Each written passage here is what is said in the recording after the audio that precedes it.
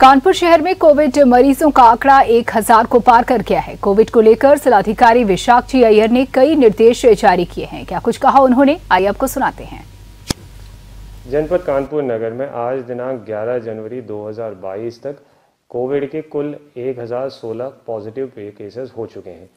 अधिकतम Covid cases home isolation में ही है, जिनका लगातार मॉनिटरिंग हमारे I triple C calling centre के द्वारा किया जा रहा है और प्रत्येक कोविड पॉजिटिव केस को आरआरटी की टीम के द्वारा विज़िट करके उनको मेडिसिन पैकेज भी उपलब्ध किया जा रहा है।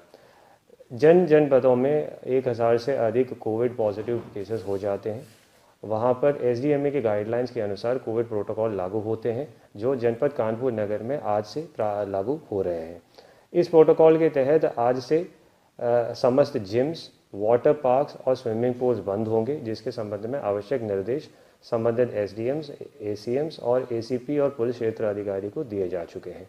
पुरातत्व विभाग के जो विभिन्न प्रकार के जो पर्यटक स्थल हैं और जो जूस इत्यादि होंगे वहाँ पे कोविड हेल्प डेस्क की स्थापना किए जाने होंगे। समस्त धार्मिक स्थलों पर भी कोविड हेल्प डेस्क की स्थापना किए जाने होंगे।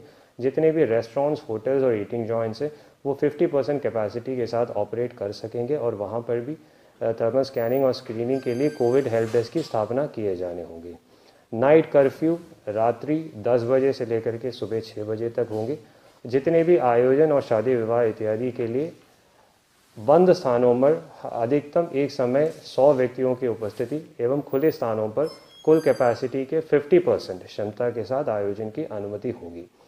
जो आईटी और आईटी एनेबल्ड जो सर्विसेज़ है, उससे रिलेटेड जो इंडस्ट्रीज़ है, उसमें अपेक्षा है कि अधिक से अधिक वर्क फ्रॉम होम के लिए प्रेरित किए जाएँ। समस्त जनपद वासियों से मेरा अनुरोध है कि कोविड अनुरूप व्यवहार का पालन करें मास्क का प्रयोग अवश्य कर लें और कोविड वैक्सीनेशन की फैसिलिटी भी जनपद में लगभग 400 से अधिक कोविड वैक्सीनेशन सेंटर्स में उपलब्ध हैं तो कृपया अपना टीका अवश्य लगा दें ताकि हम लोग संक्रमण को रोक सकें। कानपुर में कोविड मरीजों का एक हज़ार का आंकड़ा पार होते ही जिलाधिकारी विशाख जी अय्यर ने कड़े निर्देश जारी किए हैं। अब आज से शहर में सभी जिम, वाटर पार्क और स्विमिंग पूल को बंद कर दिया गया है। वहीं विवाह समारोह, होटल, रेस्टोरेंट को 50 प्रतिशत की क्षमता से चलाया जाएगा। शहर में जगह जगह सभी सरकारी विभागों में हेल्प डेस्क बनाने के निर्देश दिए गए हैं। वहीं शहर में मास्क को अनिवार्य रखा गया है। अब देखना यह है कि शहरवासी इन जो आदेश पारित किए गए हैं, उनका कितना पालन करते हैं? वीडियो नीरू के साथ अपना शुक्ला जेमडी न्यूज़ का। अगर आपको हमारा वीडियो पसंद आया हो तो हमें लाइक करें सब्सक्राइब करें और ज़्यादा से ज़्यादा शेयर करें। और हाँ बेल आइकॉन दबाना ना भूलें, ताकि हर खबर का अपडेट आप तक पहुँचे तुरंत।